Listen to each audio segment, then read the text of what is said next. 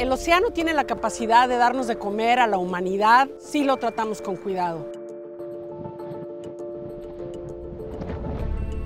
Cristina Mittermeier es una fotógrafa mexicana, ingeniería bioquímica, egresada del TEC de Monterrey y orgullosamente mexicana.